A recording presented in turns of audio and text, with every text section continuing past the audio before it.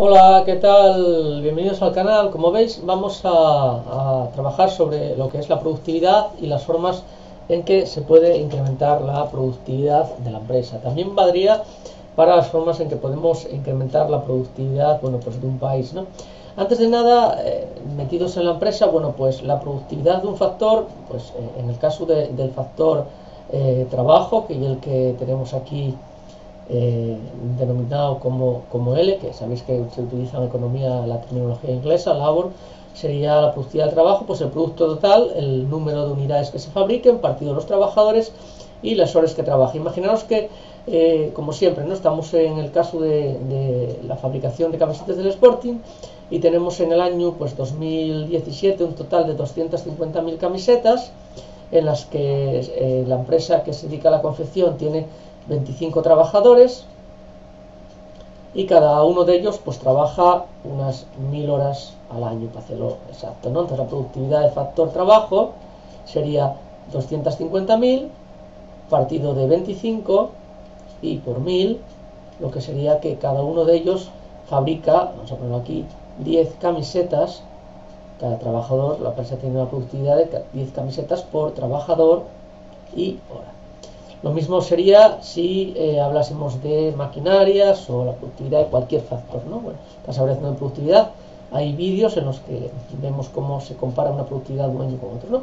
Entonces, esta productividad eh, no se eh, aumenta con solo, o sea, no se puede aumentar, no se puede aumentar la producción de año a otro eh, o la productividad, mejor dicho, aumentando las horas, porque como la hora está en el denominador, como vemos aquí, bueno, pues, ¿qué ocurriría? Que si yo aumento las horas puede que aumente la producción, pero la productividad puede que no sea la misma, ¿no? Entonces, ¿qué formas tenemos para incrementar la productividad realmente? Bueno, pues podemos decir que eh, podemos mejorar la, tecnología. Eh, esto, bueno, que está aquí sería, pues imaginaos que tenemos un, llevando, la contabilidad con libros a Manuel Semente y nos lanzamos a, bueno, pues a un ordenador, que este puede ser un portátil o un ordenador de sobremesa o lo que sea, ¿no? Eh, entonces mejoraríamos bastante lo que sería la capacidad para realizar la misma operación en menos tiempo, incluso más operaciones en mismo tiempo, ¿no?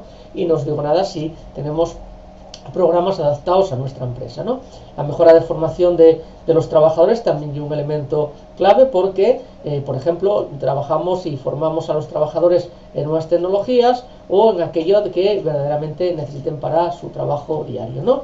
El siguiente o la siguiente técnica para mejorar pues sería el clima laboral. Aquí dibujo un café porque eh, si os acordáis aquella serie que era Cámara Café en la que se reunían del lado del café eh, lado de la máquina del café y hablaban todos, bueno, pues había buen rollo, aunque algunas veces también había, eh, se criticaba a, unos y a otros, pero bueno, por eso es importante mejorar el clima laboral de la empresa para que las personas se encuentren eh, mejor.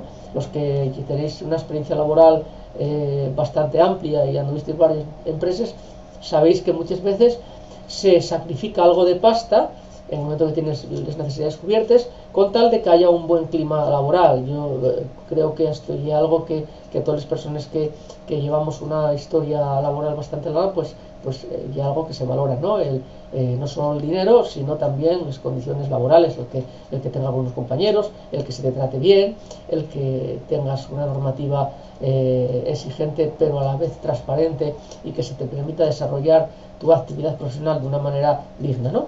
Y luego tenemos lo que está relacionado también con las mejoras de motivación, que aquí la, primera que se utiliza y, o que se, que se esgrime y es la de, bueno, pues la de incrementar el, el, dinero eh, lo que con los trabajadores, pero tampoco ya más importante.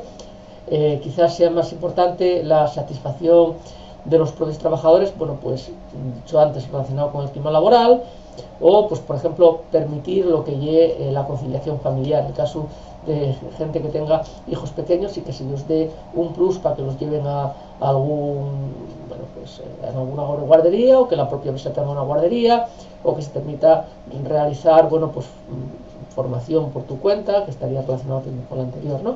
y luego el ocio y tiempo libre hay algunas empresas que paguen las vacaciones, dante días moscosos o, días para, para, que puedan realizar cualquier tipo de actividad más de lo que viene bajo convenio y esto y algo que a la larga eh, pues y, a la corta hace que los trabajadores estén, estemos más contentos. Y luego las técnicas, mejora de técnicas de gestión y de producción, bueno pues eh, imaginaos la película de tiempos modernos de Charles Chaplin cuando está apretando tornillos y sale de, trabajar y sigue apretando tornillos, aprieta narices a alguno que encuentran por la calle, orejes y demás, ¿no?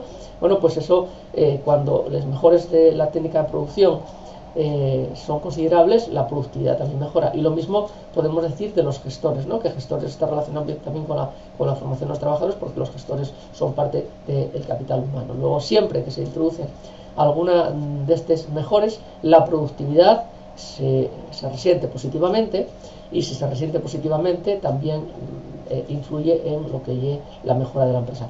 Y también hay, digamos, las técnicas, las técnicas más innovadoras en lo que es la economía de la empresa cuando se considera que el, que la remuneración a cada factor está relacionado con su productividad, si aumenta la productividad de ese factor, va a significar aumentos pues, en, el, digamos, en el rendimiento de los trabajadores. Si hablamos de, trabajadores, eh, de factor trabajo, implicaría que aumentasen los sueldos, con lo que los trabajadores estarían también más felices. ¿no? Sería una espiral virtuosa, un círculo virtuoso que llevaría a niveles de excelencia.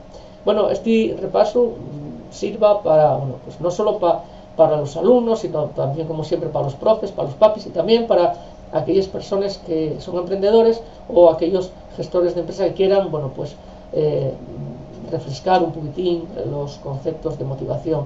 Recordar que el líder no es el patrono que trabaja con el látigo, el líder y aquella persona que actúa con ejemplo y con diligencia para que sus colaboradores sean eh, de la misma manera. Ya veis que digo colaboradores, lo digo subalternos. ¿no?